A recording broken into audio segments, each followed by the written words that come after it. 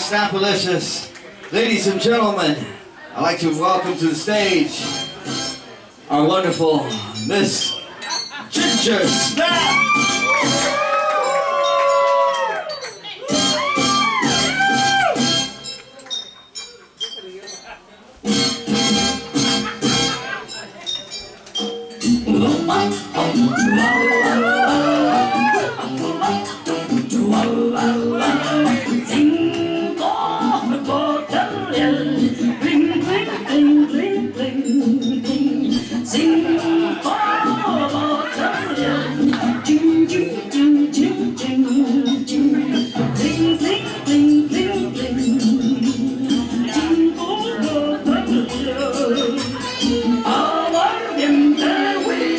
Oh.